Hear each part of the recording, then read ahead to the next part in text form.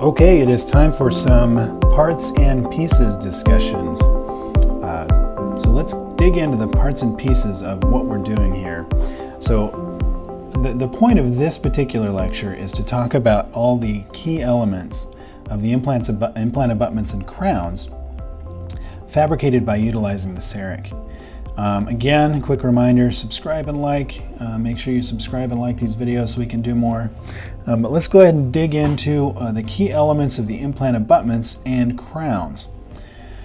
All right, so Ti-Base. Sirona product. I know there are a couple of other companies out there that have started to make their own titanium bases. Um, Ti-Base. Let's talk about Ti-Base. Um, three pieces come in the box. Now, for Omnicam, we don't see this piece. You have to buy those separately. They come in a box of like 20. So the Ti-Base itself is this little guy right here, the titanium base. Comes with a screw, um, and depending on what version you buy, it may or may not have that scan body. But the scan body is the third piece of the puzzle that you need in order to image the restoration. So as we go through here, you're going to want to pay attention. These are very specific to the implant system.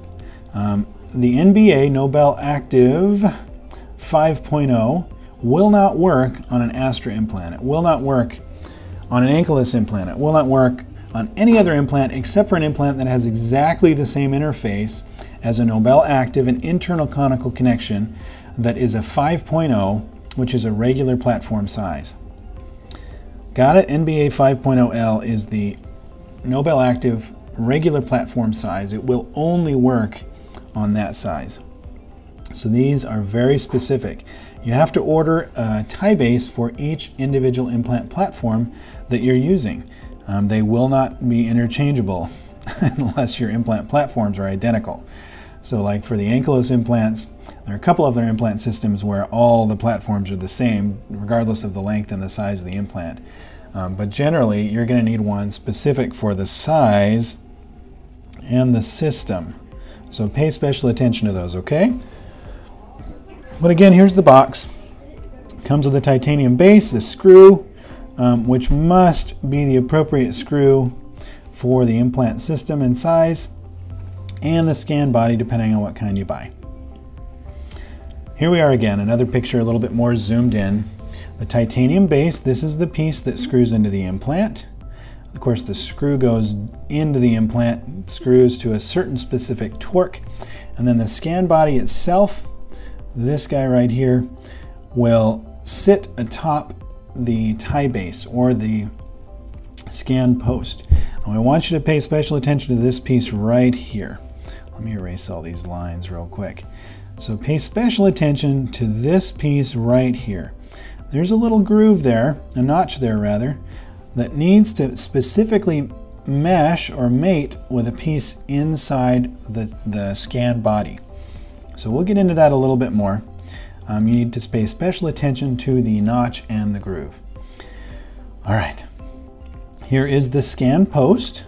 So just like the Ti-Base, the scan post is specific to the implant system and platform size. This is not a one size fits all.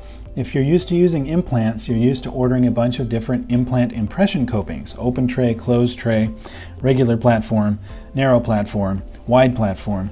You know, for every different implant size, there's a different implant impression coping. The same thing for the scan post or the Ti-Base. Now, what's the difference between the scan post and the Ti-Base? Well, it's really just the height. This, uh, roughly that much height is different. Um, the scan post and the Ti-Base, this area is identical on the two. Um, so the scan, scan post basically elevates uh, the, the impression platform uh, up a little bit higher and it makes it a little bit easier to work with. Remember I told you there were two flavors of uh, scan bodies, the white for the blue cam and the uh, gray for the Omnicam. The Omnicam can image both of them. Um, I've used white and gray before. I haven't ever used a blue cam to try to use a gray. Uh, I haven't used a blue cam in years. So maybe, maybe it's been a couple years. But uh, you want to make sure you have what you need for your system. So again, I can't uh, stress this enough. The scan post, just like the Ti-Base, is unique. The platform is unique to the platform of the implant and the system. It cannot be interchanged unless you have an identical platform um, between implants. And the gray, if you're using the Omnicam, um, you should be using the gray scan bodies. All right? Groove in the notch, here we go. So this is what I was mentioning before. This is really critical. We'll get into this uh, down the road here a little bit. So we have our scan post. Here is your notch. So you can see, I'm gonna try to draw on it, this little square deal is elevated up above the platform of the implant. So we want to pay special attention to where that lines up in relation to the scan body. Um, now you'll notice the scan post also has this indicator here to tell you where that um, notch is. All right, so there's a scan post. Again, the, the biggest difference between the scan post and the Ti-Base is basically this much metal. So take that much metal away, that piece were shifted down against the platform, you'd have a Ti-Base. Um, Scan posts are reusable. Um, sterilize them in between patients. Um, reusable depending on the implant platform you're using. Um, the Ti-Bases, you can reuse them, um, but if it's used in a crown, you generally, in my experience, you don't want to try to reuse it if it's been in someone else's mouth for a long period of time. Okay, here is the scan post with the scan body mating. So you can see here's the little notch on the outside indicating where the groove is, sliding in and over the notch on the scan post. All right, can you force these together if they're misaligned? If the notch is over here and the notch is over there, yes, you can force them together, and I think I've got a video that'll show you you can do that. So you have to pay special attention. This is plastic, um, so you can deform it, you can push it um, over the metal and it'll, it'll seat all the way down. Uh, so we want to be very cautious when we're delivering that, that we can see where it's going. So down the road, when we get to the point where we're actually imaging um, and placing a scan post or a Ti-Base, you want to make sure that you orient this notch um, ideally buccally or palatally, um, depending on where you are, so that you can see the plastic sliding over the metal notch. All right, you want to be able to visualize that when you're inserting it.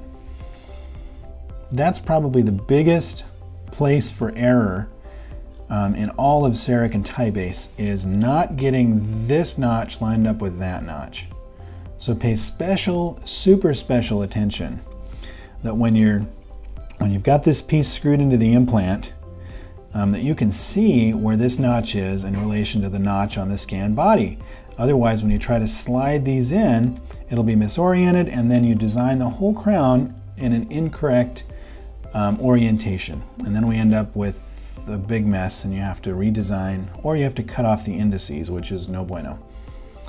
All right, so again, I can't, I can't emphasize that enough. You have to be cautious of where the notch is in relation to the groove that's on the inside of the scan body. Okay? So again, here we are. Here's the Ti-Base as opposed to the scan body. You can see how much shorter it is. There's the groove. Lines up with an internal groove. There's the notch, I'm sorry. It lines up with an internal groove which correlates to the external groove on the scan body. All right, it's critical, absolutely critical that they're mated correctly. There you can see the groove. It's not a very deep groove, and this is somewhat flexible plastic, so you can certainly get that scan body or Ti-Base to force in there. But we've got to make sure that we mesh our grooves together appropriately. All right, everybody with me? So which Ti-Base do I need? And the short answer to that is it depends. it depends on what implant system and size you're using. So here we have the manufacturers over here, and these are some of the main ones. There's another, another sheet that I didn't put in here. Um, I've been using Nobel Biocare, the internal uh, conical connection of the active. I've also used um, Straumann, restored Straumann, uh, you worked on the tri-channel. um, Dentsply, the Astra Tech OsseoSpeed, Biomet 3i. So the short answer is you just need to know exactly what implant system you're working with and what the platform size is. Beyond that, you can order anything you need to. So here for me are the ones that I usually use. Um, again, we're looking at Nobel Biocare, the Active, and then either a regular platform or a narrow platform um, implant. So with Nobel Active, it gets a little confusing because they have two platform sizes, implant diameters rather, um, that, uh, uh, that are the regular platform size.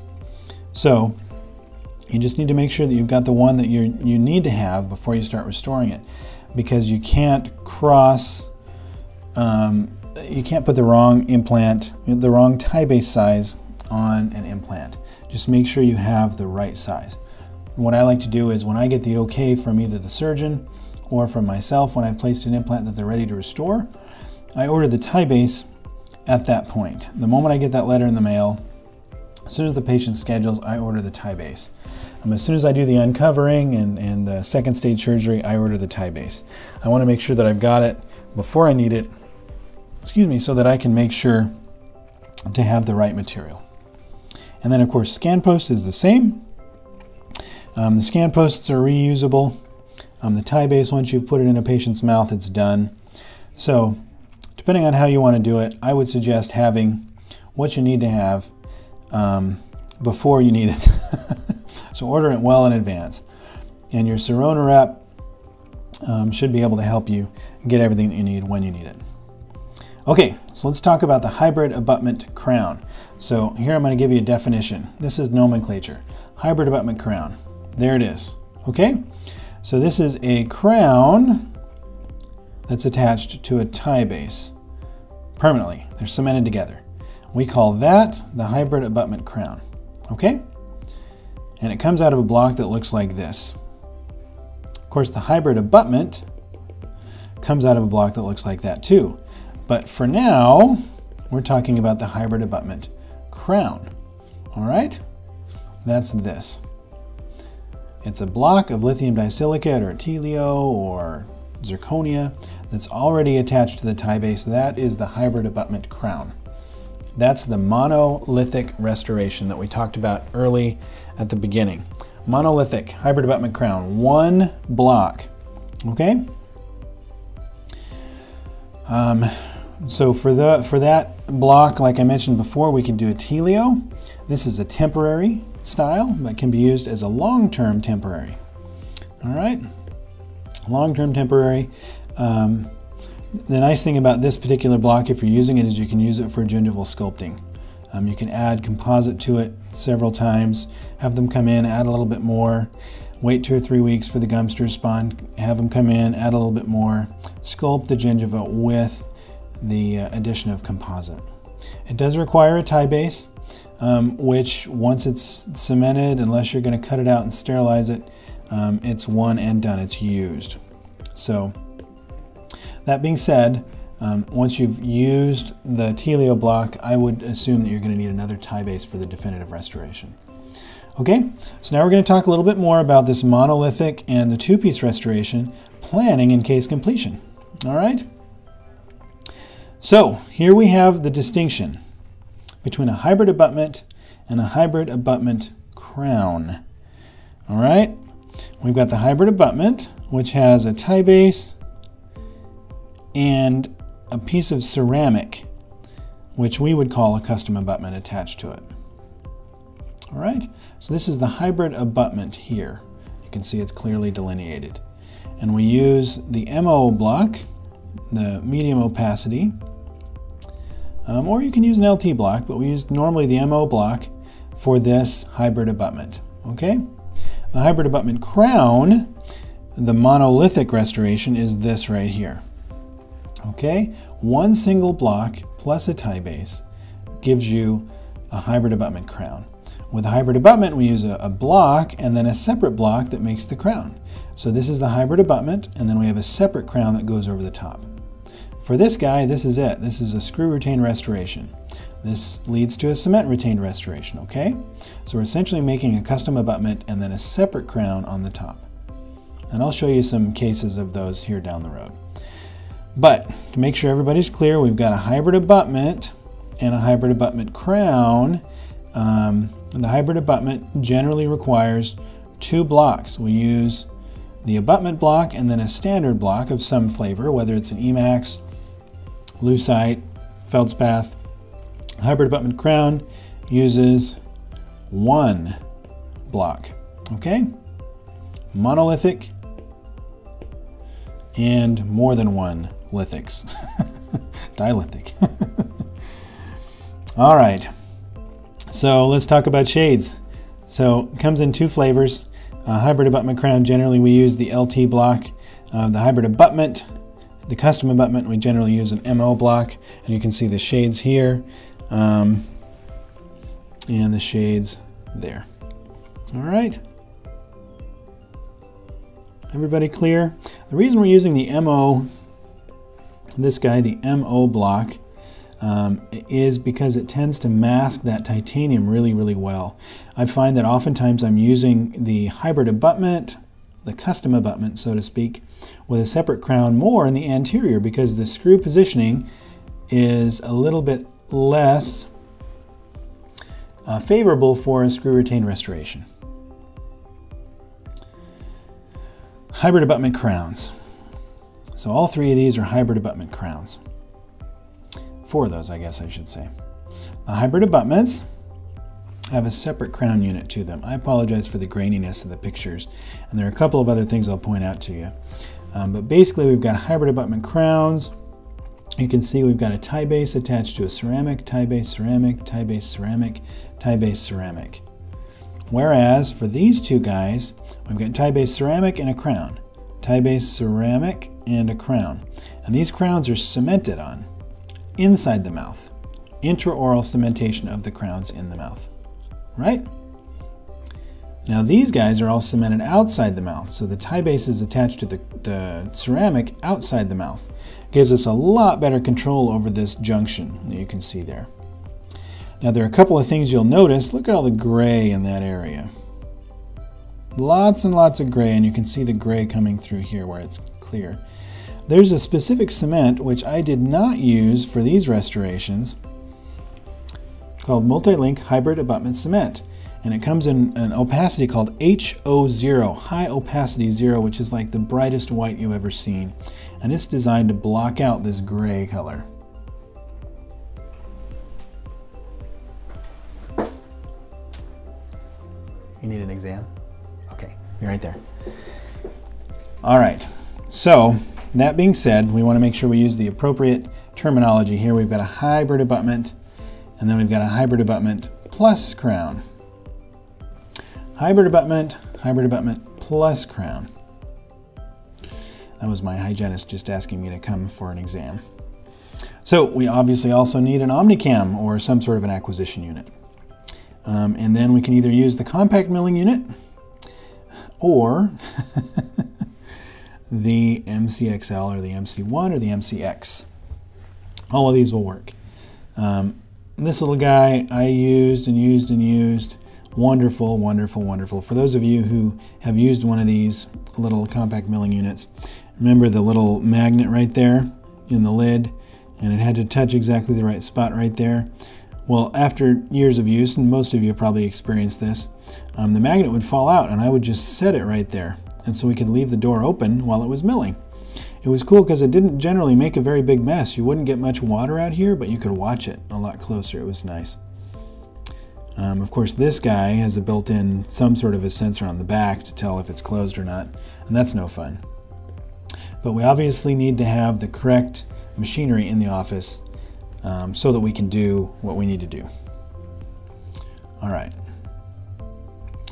We're again talking about all the stuff that we're going to need, the parts and pieces that we're going to need for the restorative um, process. This is what I like to use to polish my restorations. Um, I like to use this pre-polish gray or blue, whatever color you want to call that. It's kind of grayish blue or bluish gray. Um, I'll pre-polish with this, and then I use the um, fine or extra fine on an extra stiff brush and then shine it up. And if I've done my job right, those restorations after they come out of the machine should be just really, really shiny.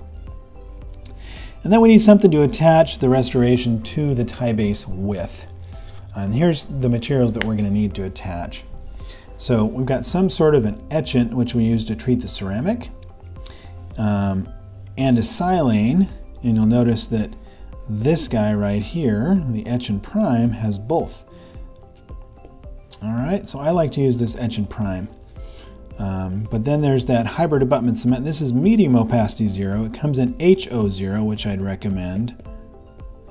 HO0, let me fix that. HO0 comes in HO0, which is a much more opaque white than the medium opacity zero. And I'd get the HO0 instead of the medium opacity. Works a little bit better. This is what we treat the ceramic with and then eventually attach it with. Then we need a micro etcher to etch the um, titanium um, and the 50 micron aluminum oxide. You want to be very, very careful when you're loading your micro etcher that you put in the correct material. All right? Um, here's the process that we're going to use um, going through uh, the attachment and delivery process. We want to make sure the patient's prepared, so this requires surgical clearance. Whether that's from you, whether that's from a surgeon, it needs to happen, it needs to be documented. Make sure that you have what you need to have, and like I said, I like to order those in advance. Make sure you have them before you need them. Um, we need to do the imaging or design process. And a lot of times I'll separate the imaging and design process for the patient's benefit. I'll give them the option. If you want to stay and wait, this will take about two hours. You're welcome to sit, but you'll have about an hour and a half to wait while I'm designing and attaching your restoration, or you can come back tomorrow or come back this afternoon. Um, so the imaging design process, the lab steps, the delivery and continuing care. All right, so that's the kind of the process overview that we're going to use as we're talking about implant restor restor uh, restorations.